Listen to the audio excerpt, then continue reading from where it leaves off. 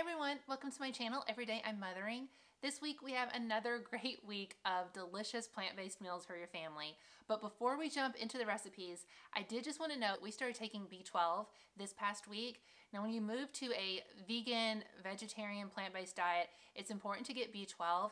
Typically you do get that from meat. Now it's not because it's in animals. I mean it's injected or they're supposed to get it from their plants and when they eat. And technically we should get it from I guess like the dirt or the vegetables, but you know we clean that off and whatever. So you do need B12. It's important. Um, so we ended up getting this. Let me see if it'll focus in there for you. And it is a B12 spray, and I'll link it down below too. But we've been taking about four uh, pumps of this on your tongue and we've been giving like two to the girls um, every day and it's just an important thing that you do want to add if you haven't already and I've been really happy with this um, brand and the spray. As always, I want to include our shopping trips as well for the things that we're planning for the week. I typically will do our meal planning on the weekend and then do a big order to pick up on Monday. And this is from Walmart and then a few things from Kroger that we aren't able to get at Walmart. Monday we had a caramelized shiitake mushroom risotto and it was so tasty. Risotto is something that we used to cook quite a bit, but we haven't actually done it in years and I can't remember why, but we used to do a mascarpone mushroom risotto and it was so cheesy and good. So when I saw this one, I was really hoping to recreate, you know, that dish. And I have to say, it was pretty successful. The cheese in this dish actually came from a vegan Parmesan cheese that you make. And I actually make it in another recipe later this week too and use two different um, methods for making it, but they both turned out pretty similar. So it's pretty basic. Use cashews, nutritional yeast, you know, salt, pepper, garlic, whatever you want to throw in there for a little bit of seasoning, and you just grind it up really fine, and it actually makes this melty, cheesy Parmesan. So when we stirred it into the risotto, it became so creamy and so rich. If you've never made risotto before, it is one of those dishes that you need to stir continuously while cooking. So it isn't something you can make and just walk away. So just keep that in mind, especially when we're cooking with little ones. I know sometimes it can be a little hard to do that, but you do need to be aware that you need to stir it so it doesn't get mushy and overcooked. And that's gonna be about like 15 or so minutes that you need to be able to stand there and be at the stove to get that cooked. But other than that, it's a really easy dish to put together. There's just nothing like a good, creamy, warm, heavy risotto, especially like on a cold, dreary day. We just love that. So we were really happy with this dish. Everyone ate all of it and there were no leftovers, so it was a really good dish for our family. On Tuesday, we made a cheesy lentil bolognese casserole and I had really high hopes for this. You know, I was really wanting an idea of some kind of casserole that I could have pre-made. We could stick it in the oven on nights that we have activities or whatnot. And I have to say that this one, the kids loved it. I mean, they ate it all, but I just wasn't necessarily a huge fan. It wasn't bad, it just wasn't great. And when we've had so many great recipes these past few weeks, this isn't one that I will probably recreate again. But like I said, the kids liked it. So if you do need some type of cheesy pasta casserole that you can make in advance, this may be something that you want to try out if you're looking for something that your kids will also eat. It was fairly easy to make. I've never really cooked with lentils before, but you know, they give you that boost of protein. And in all in all, I mean, it was a hearty, nice dish. It just wasn't my favorite out of all the ones we've had this week. And I think part of that is the cheese sauce that came with this one. So they call it this all-purpose vegan cheese sauce. And it's made from cashews, but it also has carrots and potatoes. So this one does take a little prep work in the beginning. Like I said, it's nice. You can put it in the refrigerator for later, but it does take a little bit of work, you know, getting the sauce put together. But to me, the sauce just wasn't the best for a pasta. I much prefer the cheese pasta from our macaroni and cheese last week. Much prefer that as a cheese sauce for a pasta. This one they said it could also use on nachos and to me it did have more of that like if you've ever been to like the ball game, like those type of like nacho thick yellow cheese sauce, it was more like that. And actually I thought so much that it was like that that we used it, that cheese sauce later in the week for nacho. On Wednesday, we made a vegan palak paneer with curry tofu and homemade naan. So I was really excited to try the naan. I've had a lot of difficulty finding vegan naan. I found it once at Costco, but after that they all have some type of milk in them. So I figured, why not just make it? And I found this recipe that was pretty easy. It only had to sit for about 30 minutes. I ended up letting it sit for closer to an hour just because I had the time and it did rise more. So I think the more you can let it sit, the better. But it was so easy to make that I don't really ever see me probably buying naan again. It was really easy. It was fine. Just throw it on the grill. It only takes like a minute or two. It puffs up nicely. When we did add some garlic to ours this time, you don't have to do that, or you could even make it like a buttery naan. But anyway, I was really surprised and really impressed with how easily you can make naan and how tasty it can be. Curry itself, I've never made this dish the traditional way, and so I'm not really trying to recreate something in a vegan way. I didn't really have anything to compare it to, but we all really enjoyed it. I will say it probably doesn't necessarily look that appetizing in the pictures, but it was really good. That little coconut milk drizzled into it. Uh, the tofu was really nice and soft in it, and we served it, of course, with some rice. So we enjoyed it. It wasn't probably the best curry that we've had so far. It wasn't a really, really strong flavor to me. So again, I don't know that I'll recreate this one for us, but if this is a dish you've liked in the past and you're looking for a veganized recipe for it, then I would definitely give this a try. And I would just say, you know, bump up the spices some on this one. Last two recipes I've talked about, you know, I said weren't necessarily some of our favorites, but this one on Thursday is one of our top favorites. Like, it's one of those dishes that even thinking about it right now, I'm craving it. Like, I, I, want to have this again tonight. That's how good it was. And if you watched our nighttime routine video, which I'll link here if you haven't seen it, a sneak peek of this meal because I was actually making it that night. The balsamic portobello burgers with caramelized onions and garlic aioli. Oh my goodness. These were delicious. And it's exactly what it sounds like. You portobello mushrooms, onions, you make this garlic aioli sauce, you know, you can do lettuce, tomato, whatever on your burger, burger, portobello burger.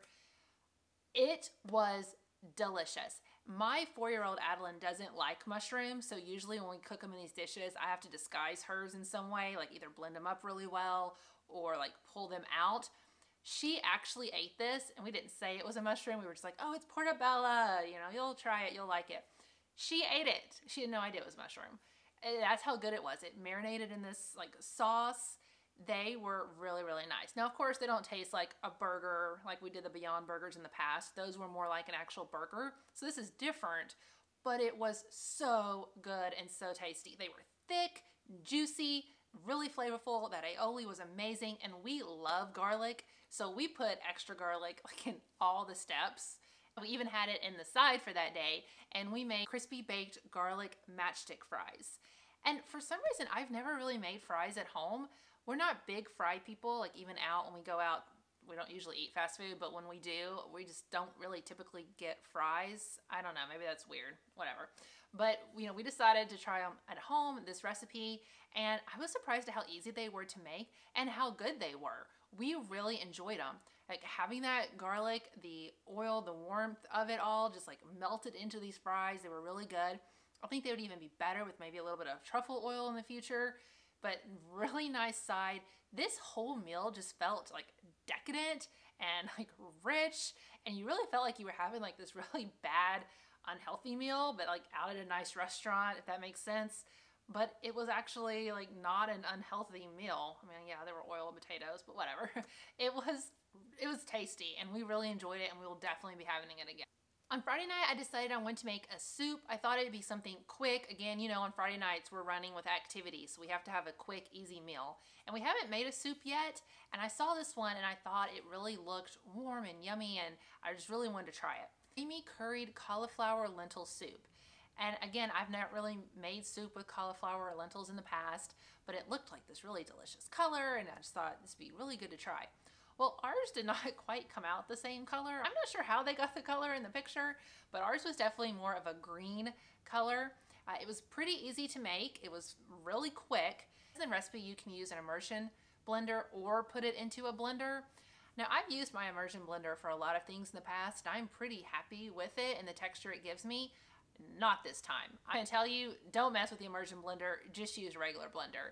I did the immersion blender at first, I served it, I took a bite and I thought, I'm not gonna be able to eat this. Like, it's what I imagine chunky baby food tasting like.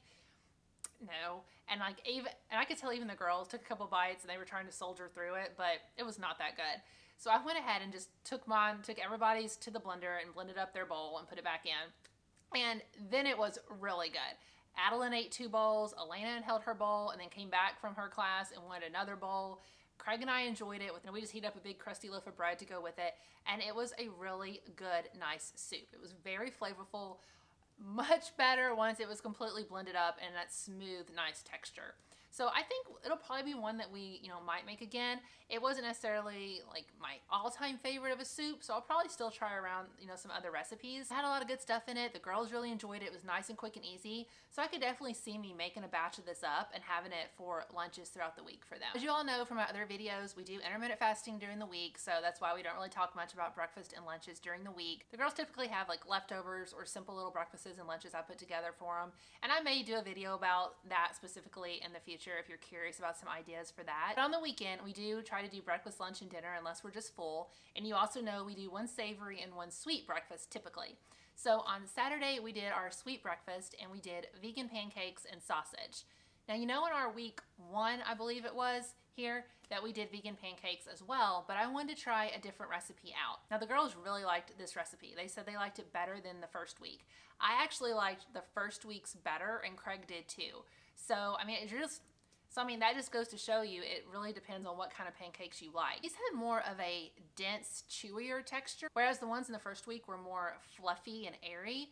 So I preferred that, but you know, the girls preferred this. Either way, they were all gone, so the girls still really enjoyed them. And these were a little bit easier to make, but my recommendation, depending on what kind of pancake you like, you know, maybe try one, try on both, and just see which one that you prefer. As for the sausage, some in the freezer from our first week. So we just had the Gardein sausage again. You know, I'm not like a huge fan of it, but we already had it, so we ate it. But I'm still on the hunt, and some people have given me some really good notes for some sausage to try, so I will be doing that at some point. For lunch on Saturday, I was super excited, and our video from two weeks ago, I believe, I had asked, you know, I challenged everybody to put their favorite recipe down below and that I was going to pick one and that you guys should go through and pick one to try. It was while I was shooting that week's video. So this is the week that I was actually able to try one of those recipes. And someone had suggested vegan sushi. And I hadn't even thought about making vegan sushi. And we love sushi. That is one of the things that I was the most nervous about having to give up Craig and I, I mean, we can literally sit down and eat so much sushi, so much sashimi. We love it. So the idea of doing this at home, making it vegan, was really exciting, and I thought it'd be really fun. We actually had the bamboo mats, and because I had thought we were gonna make sushi at some point, and we just never did. It just seemed intimidating. But I was like, this is it. We're gonna try it. You gave me this idea, and I'm gonna do it. It's a pretty easy recipe. You know, you just have your cucumber, your carrot, avocado, you make your rice, and we just, of course, use our Instapot. We always make all of our rice in the Instapot. It's just really easy and really simple to do. And then you had your seaweed wraps. For our tofu, we just sliced it up and fried it for a little bit on the stove with a little bit of oil. Really simple again. I didn't want it to be too crunchy because I wanted it to still kind of taste like, you know, the fish does in sushi. So that was okay with me that it was a little soft. So depending on what you like, you may want to cook it differently for this. But then you just bamboo mat, rolled it up, and it was actually really easy to do. It was fun. Craig and I were doing it together and competing about who could make the best rolls, which, you know, clearly I did. Made, you know, quite a few. We used a whole pack and then we just sliced them with some soy sauce. And then we also made a side of the yum yum sauce. Now, this is similar. We've made this in the past. We would make like chicken hibachi at home, that white sauce. It was a very similar recipe to that, but it's you know, that orange kind of sauce that you'll see kind of squirted over the top sometimes of the sushi rolls and it was really easy to make and it was really good. So we'll keep a batch of that, you know, in the refrigerator. It's nice to just have like on rice bowls or like I said, hibachi type chicken dish, obviously with tofu. Really good with those two sauces on the side. Our family ate all of the rolls. We really probably could have eaten more of them. They were just so delicious. You know, we like using the chopsticks. We liked having that experience in the meal. It was really fun and it really hit a craving for me. That was something I was afraid I was going to have to give up. So that was a really successful dish for us. Thank you so much for suggesting it. We were really happy with how that turned out, and we will definitely be doing sushi nights again in the future. I'd like to add like some edamame in with it and maybe like some neat little salads and do that, like a bigger meal with it. But we were really happy just having our little sushi lunch that day. Tonight for dinner was again one of our top meals of the week. we decided to make pizza. We haven't had it since we started this journey, and pizza was something we probably had at least once every other week, if not sometimes more. But you know, that cheese and all that just never really set well with us. We always felt like bloated and gross after we ate it the next day, and it just wasn't that pleasant, but we love pizza. So I really wanted to try to find a recipe that we can make that we could enjoy. And I've made pizza before at home with crust and different options, and I've liked them. They've been okay, but I haven't been just blown away by any until this one. Crust was really easy to make. I actually just doubled the recipe because we needed two pizzas for all of us. Really easy. Um, as far as vegetables, we kind of just used what we had on hand, but you know, you can never go wrong with caramelizing some red onions to put on there, mushrooms, garlic, we did some red peppers, some regular plain pizza sauce uh, from Walmart, I think. We put on there nothing big and bad. You know, lots of seasonings in the crust. Actually, something we did add was from another recipe. When I was looking for pizzas, I'd come across a few, and I was more a fan of this one because the crust just seemed easier and more practical for us. But this one component on this other pizza dish really had me intrigued, and it was the whipped almond ricotta. And it looks like, you know, if you've ever gotten one of those one of those white pizzas or margherita type pizzas, where they have the big chunks of like mozzarella on it, it kind of looked like that. And we really enjoy that kind of pizza. So I wanted to make this and just see if it really tasted, you know, like that kind of cheese texture. And it was really easy to make. When I first saw it, I thought, hmm, I don't know how this is gonna this is gonna work. But you know, we did it. We scooped it onto the pizza, and when it baked and it came out, the pizza all looked really good. That ricotta looked interesting. It was like brown and speckled and kind of like hard on top. And I thought, well, if it if it's really bad, we'll just scrape that part off and eat around it. And then I took a bite. And I am kidding you not, it tasted like that mozzarella ricotta, like dollops on your pizza. And it was amazing. Like it was so tasty and so good. And Craig actually said that he would have liked it to have been all over the pizza instead of doing like the dollops to actually have done like an entire layer of it on the pizza because he enjoyed it so much. And I could actually see it really being good like that as well. So I might do that and maybe do some spots of got dollops. I don't know, but we'll definitely be making it again. And we put just a little bit of that shredded uh, veggie cheese, Go Veggie I think's the brand, on top. Not a lot, it didn't need a lot, but just a little bit. And after we pulled the pizza out of the oven, we added some basil leaves and sun-dried tomatoes to it, and that just put it over the top. I love fresh basil on a pizza. I don't like to bake it in the oven because it like kind of turns black and burns, but just putting a little bit over the top of it, just perfect. And we served it just with some, we like Frank's on ours, so we put a little bit of Frank's. And then our family loves to have popcorn with pizza. I don't know if that's something that you guys do or not, but we like that little bit of crunch. So we just use our air popper thing of popcorn. We put some uh, nutritional yeast on it for a little bit of like that buttery flavor and it's just a perfect side for us and we all really enjoyed that and getting to sit down have this pizzas again it tasted like you know pizza that you're used to. I didn't even notice that it was dairy-free pizza and all the good veggies and all of that. I did not miss any meat on it. It was just a really delicious. On Sunday we did our savory breakfast and it was it was a sun-dried tomato, mushroom, spinach, tofu quiche. And we love quiche in our family. It's something that I will typically make like on the weekend and that will be our or the girl and that will be the girls breakfast throughout the week. So we were really looking for a way to recreate this, obviously without egg. All this dish, and I thought this looked really, really good. You know, the crust seemed really easy to make. The tofu was just blended up into this like thin sauce mixture that kind of looked like eggs that you just put in over all of your veggies and the crust. So it was pretty simple to put together, but with all quiche, you know, they do take a little bit of time to cook the crust, cook the quiche. It needs to set for a little bit before you try to cut it. If you try to cut a warm quiche, you're going to have a mess. So it's one of those ones you need to know if you're making it the day of that you're going to be eating a later breakfast. But you could also, you know, like we typically do is make it in advance. But this morning we did make it day of. It was fine for us to eat a little bit later. But it was such a good quiche. We ate the entire thing. We really probably could have had two because the curls would have loved to have a little bit more. We ended up just adding like some fruit and other stuff just to beef their breakfast up a little bit more for them. But the tofu really did taste like you know, quiche, like an egg mixture. And you didn't really miss that it didn't have any cheese in there. It was absolutely delicious. It just felt like you were getting all these healthy, good vegetables and this really nice, warm, flavorful quiche in this breakfast dish. Overall, I was very happy. I was very impressed with it, and we will be making that one again. So if you like quiche, or even if you don't think you like quiche, you just like vegetables or savory breakfast, I would definitely recommend making this one and trying it out. The rest of the day on Sunday, you know, was Super Bowl Sunday. So we just kind of scrapped the whole lunch dinner thing and decided we were going to do a huge spread of game day snacks, appetizers, dips, desserts, nachos, and we've had like sweet potato brownie, nachos, mini carrot dogs in a blanket, gorgonzola Brussels sprout ball, buffalo cauliflower wings, dips, lots of stuff, but actually did a whole separate video on it because there's a cover in it. So you can see that video here and I'll also link it in the description bar down below so you can get more details on all of those. But they were really good. They'd be perfect for any kind of game day or party or anytime you just want to make like some little appetizers. And those carrots in a blanket sound bizarre, but they were really good. And there's some I just try to keep in the fridge sometimes because they're an easy snack to just to grab and heat up for the kids too throughout the week. Also for snack this week, we did try the Simple Truth chocolate chip cookies, and I had shown that cookie dough in one of our past videos, one of the little shopping hauls,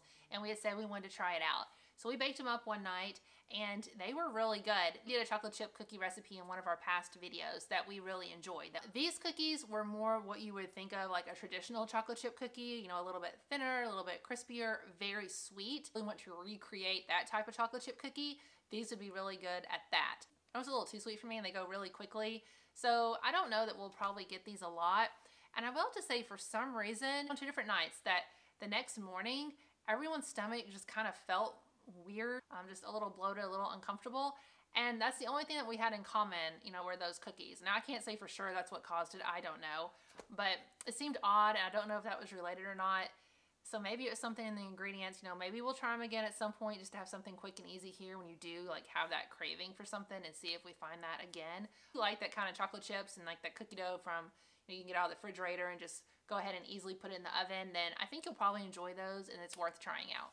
I'm so excited already about the meals we've been having this week. And so of course you can catch that next week. Give this video a thumbs up and subscribe to my channel down below. And also click that bell next to it so you'll be notified about next week's video for some plant-based meals. Keep a lookout. I'm going to be posting some videos that have been requested about more details on how I meal plan and shop for the week.